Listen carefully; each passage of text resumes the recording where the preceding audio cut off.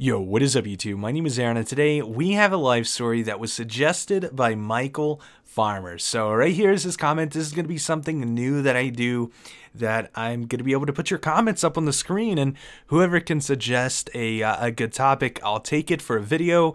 And so that's what the topic is going to be this video right here. Something that happened in church. But before we get into that, I want to let you guys know that I am going to start streaming on twitch.tv. A link will be down in the description. So go ahead, uh, click on that, follow me, and wait for that stream because I'm sure good things will come on that page. So let's get right into it.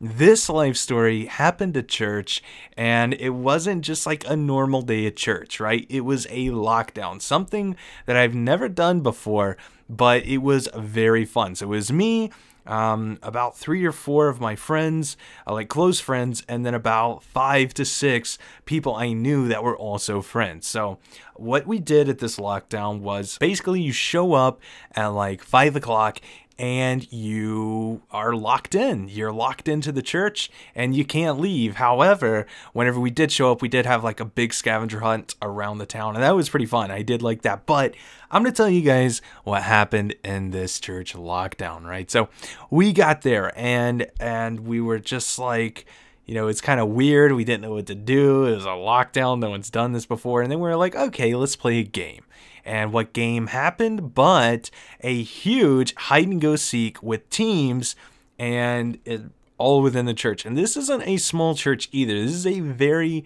big. I mean, it's not the biggest church I've seen, but it's definitely bigger than a medium sized church and probably bigger than any church in the area. So we were in this lockdown, right? We were playing this big game of hide and seek.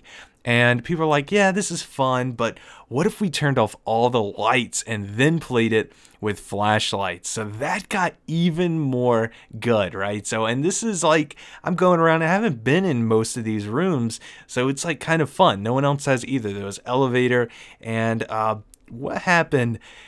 And it's it's pretty embarrassing but i was like the best one right? No one could ever find me. Until they did and how they found me was very embarrassing. I'm going to tell you what happened. So i hide right? I'm getting kind of nervous because it's dark and uh, people are looking for me. Very quiet kind of creepy and i'm getting nervous right? So what happens whenever i get nervous I fart a little bit. So I was farting, and no, it wasn't the sound that they found me by.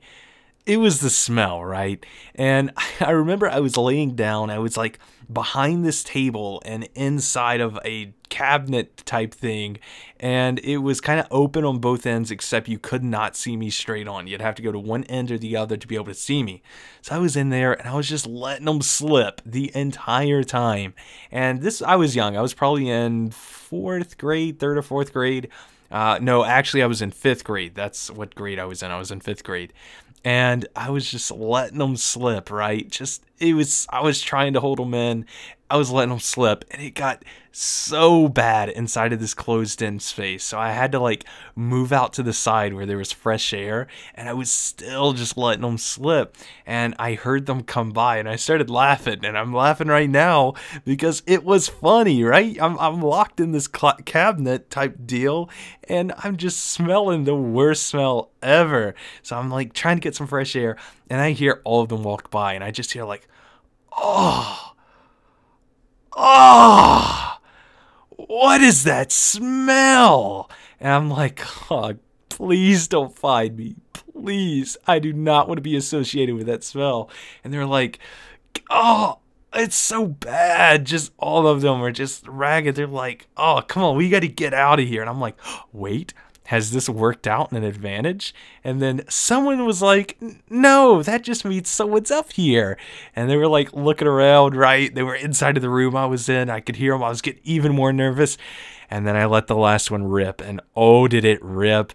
And I came crawling out. I'm like, you guys found me, and I went away. And they just, they all teased me. They were saying I was up there farting, and that's how they could find me. So hopefully you guys enjoyed this story. This is a church story. Thank you, Michael Farmer, for the suggestion. If anyone else has a suggestion um, and I like it, I got a story for it, I will definitely thank you for it because I can remember almost everything, but it's a hard. I have a hard time recalling it. So I hope you guys enjoyed this. My name is Aaron. I will see you tomorrow with a brand new video. Peace.